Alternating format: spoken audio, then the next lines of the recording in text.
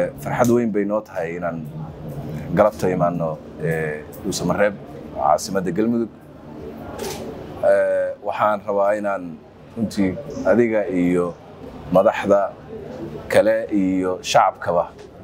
aan idinka mahad celiyo soo dhoweynta diiran qalbi furnaanta ku jirto weliba ay u sii dheer tahay madax furnaantii reer galmudug. Aad iyo aad baad ugu mahadsan soo dhoweyntaas waan idinka filaynay ahalna waa u tihiin. Hadde waxaa kaloo runtii aad waajib ah inaan idinka mahad celinno sida aad uga jawaabteen baaqii madaxweynaha jamhuuriyadda ee ahaa in lala diriro cadowga khawaarijta oo laga saaro dalka. Sida aad u martigeliseen sida aad hoyga ugu noqoteen hormuudka ugu noqoteen dagaalkaas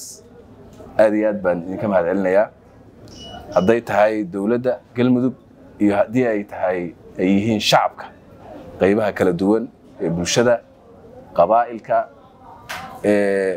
waxgaradka kala duwan aqoon-yahanada qaybaha kala duwan ee bulshada dhammaantood runtii waxay si weyn uga qayb qaateen. Sidii looga jawaabi lahaa baaqaas loo soo dhoweyn lahaa hormuud loogu noqon lahaa loo hogaamin lahaa cadowga looga saari lahaa ee dalka khawaarijta ah oo aan hubo inay hadda ay ku sii ciribyar yihiin galmudug reer galmudugna insha allah ay noqon doonaan madad ama hiilo kale oo u sii gudbaa sida aad madaxweyne sheegtayba isteydyada kale iyo qaybaha kale ee dalka ee ay joogaan nimankaas. Aad iyo aad baad ugu mahadsan tihiin. Galmudug waa dee waxay ila tahay meel aad u wanaagsan bay maraysaa oo runtii horumar badan ayaa ka socda oo dhinaca dowlad dhiska ah. Aan ogahay mashaariic badan baa ka socota. Marka waan kaaga mahad madaxweyne horumarkaas iyo